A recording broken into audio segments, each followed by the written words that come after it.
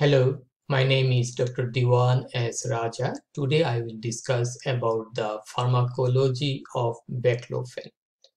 What is baclofen? This is a skeletal muscle relaxant, an orally active GABA mimetic drug. GABA is an inhibitory neurotransmitter that stands for gamma aminobutyric acid.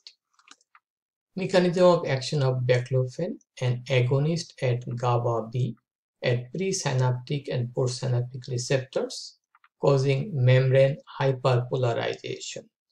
Presynaptically, baclofen decreases calcium influx and decreases the release of excitatory neurotransmitter glutamic acid. So that will be decreased. At the postsynaptic receptor, baclofen facilitates the inhibitory action of GABA. Baclofen suppresses the activity of 1A sensory afferent, spinal interneurons, and motor neurons. Baclofen may also diminish pain in patients with spasticity, perhaps by inhibiting the release of substance P that is called neurokinin 1 in the spinal cord.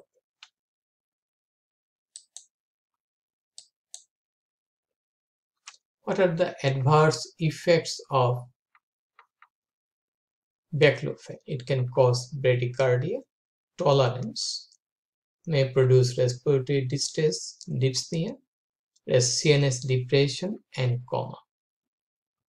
Can produce paradoxical muscle hypertrophy, seizure-like activity, abrupt with the withdrawal result in hallucination, seizure, hyperthermia.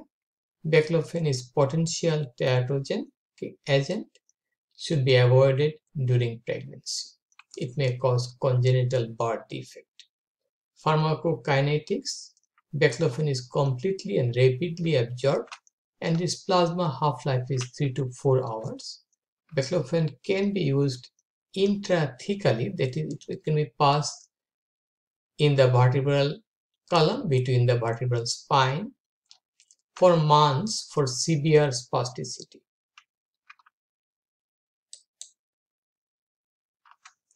Drug interactions with other sedative barbiturates, alcohol, opioids, causing excessive dizziness and confusion.